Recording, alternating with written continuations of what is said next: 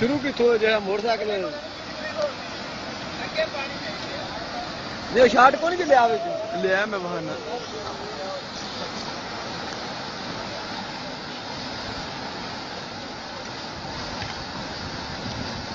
ਉਹ ਨਜ਼ਾਰਾ ਵੇਖ ਲਈ ਇਹਨੂੰ ਆਪਣਾ ਜਿਹੜਾ ਕੀਤਾ ਜੇ।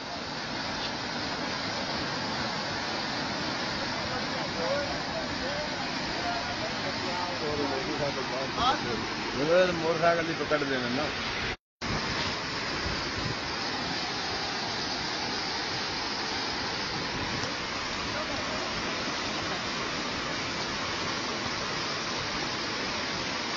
ਓਏ ਕਿੱਥੇ ਚੱਲੇ